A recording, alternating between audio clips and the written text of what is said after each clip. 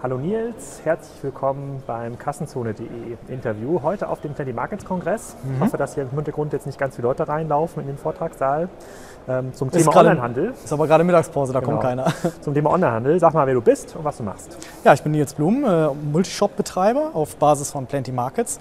Das heißt, äh, wir haben uns äh, vier Nischenthemen ausgesucht und äh, betreiben dann jeweils einzeln die Stores daraus, aus einem Backend heraus.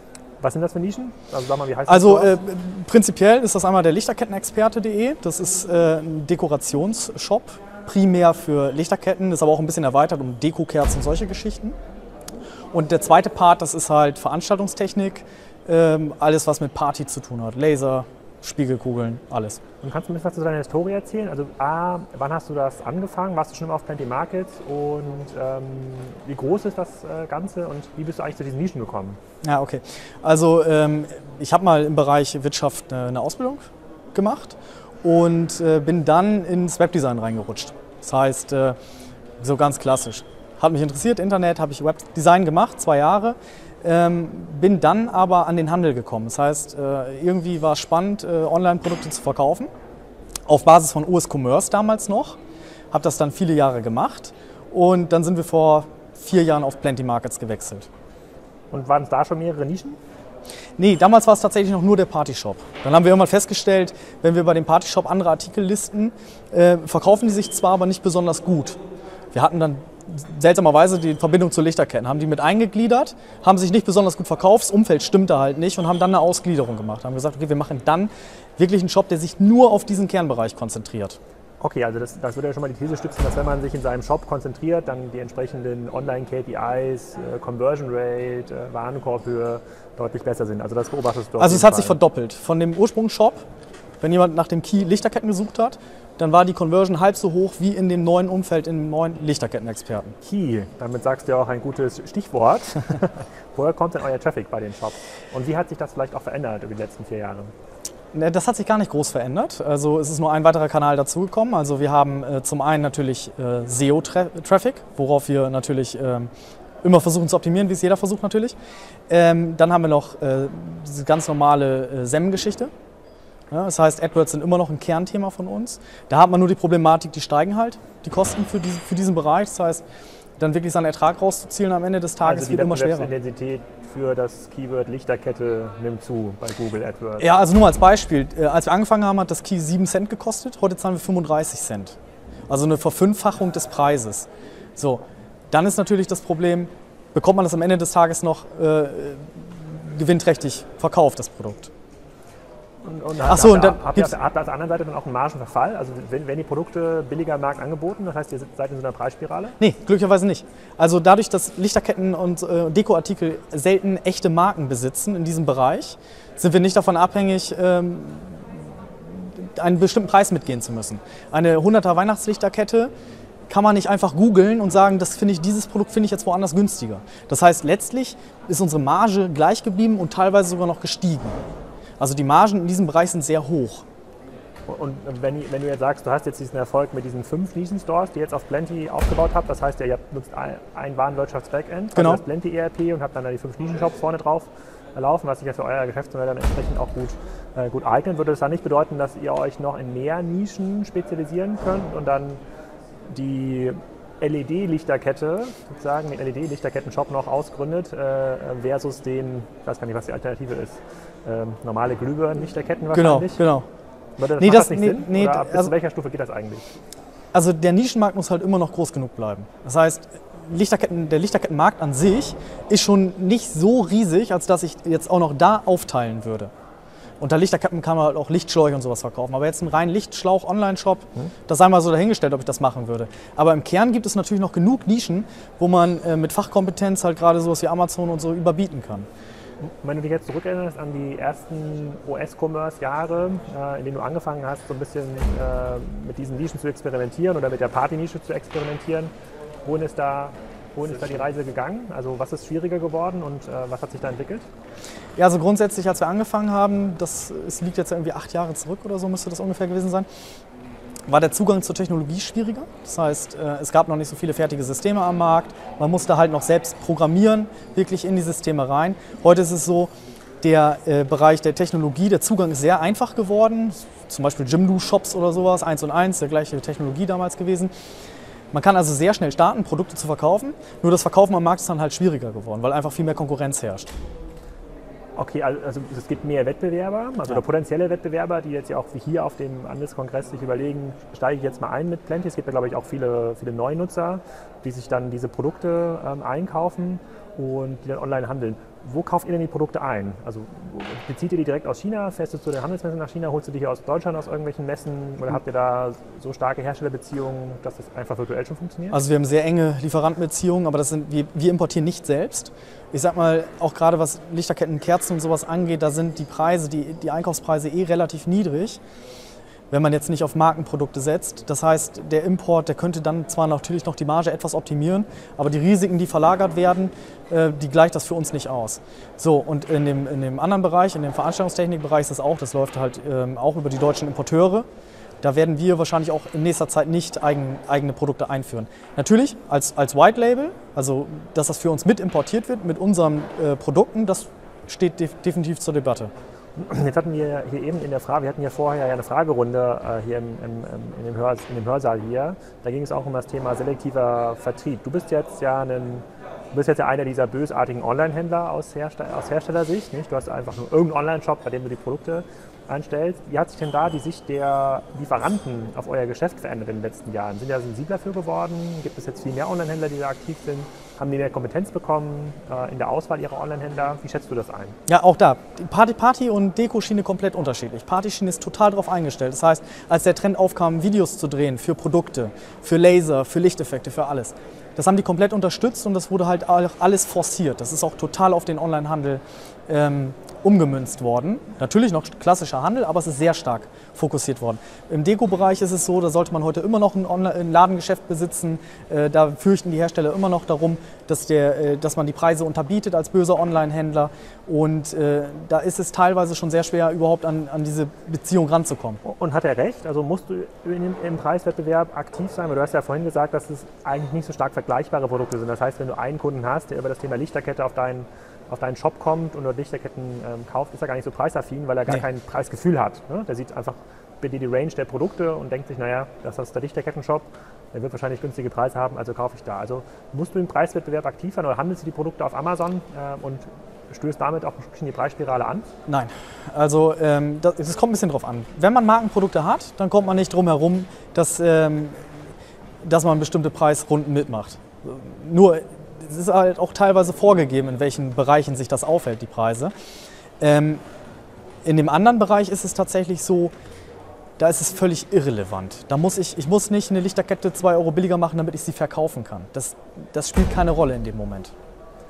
Okay, und was bedeutet das so ein bisschen, also wenn du sagst, die Lieferantenbeziehung ist äh, im äh, Lichterkettenbereich schwieriger geworden, im, Partybereich nicht und diese Fähigkeit, äh, das am System rumzuschrauben und die richtigen Online-Marketing-Maßnahmen zu wählen, ähm, da habt ihr ja auch relativ viel dazugelernt in den letzten Jahren.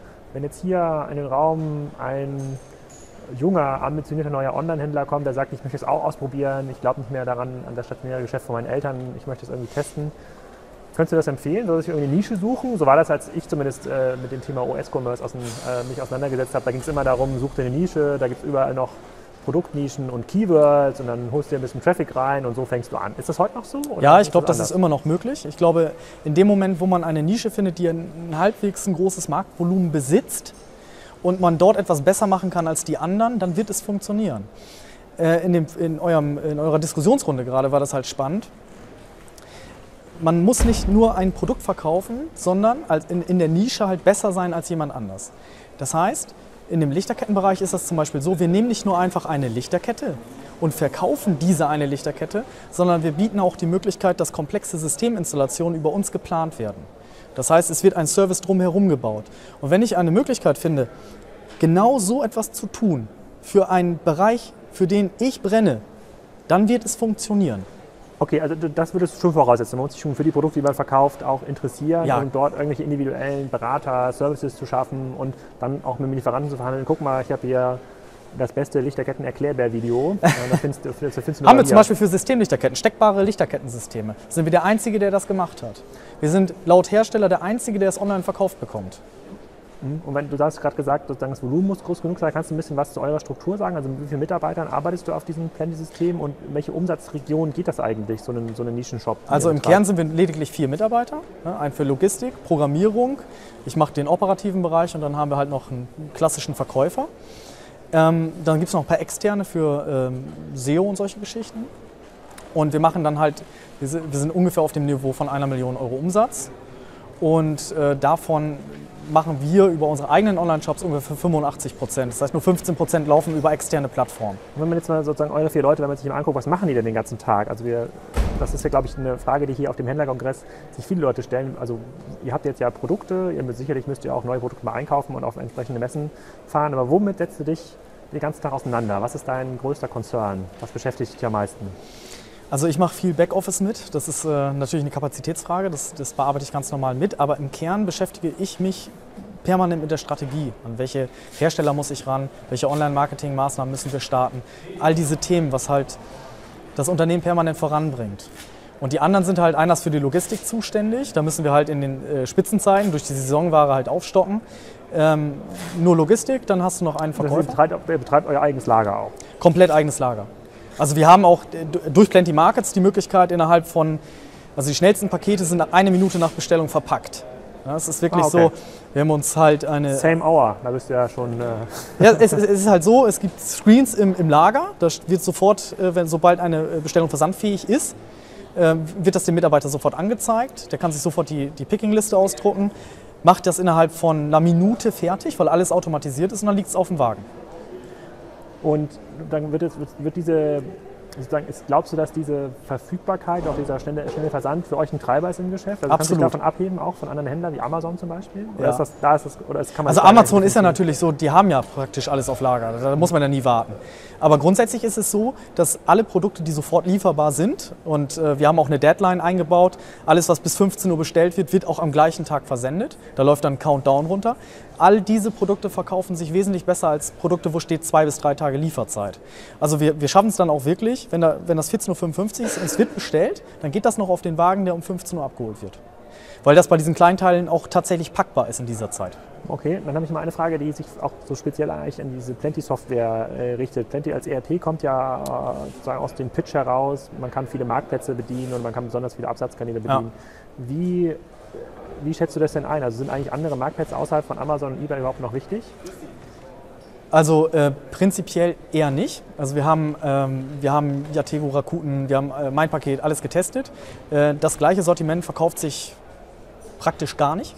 Also es ist halt wirklich so, wenn mal eine Bestellung reinkommt über so einen Marktplatz, dann ist das schon was Besonderes. Ähm, deshalb ist für uns prinzipiell nur Amazon und eBay interessant.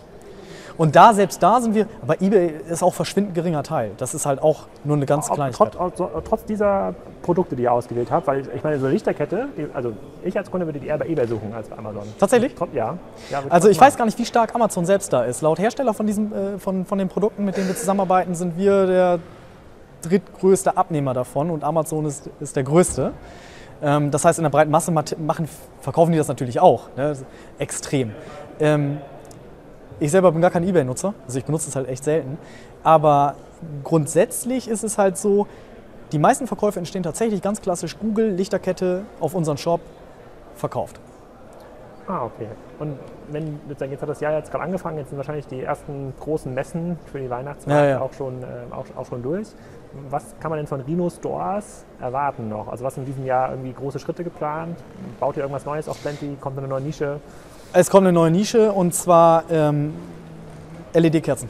Wir können ja auch verlinken im Beitrag, das ist kein Problem. Gibt SEO-Traffic. Ja, genau.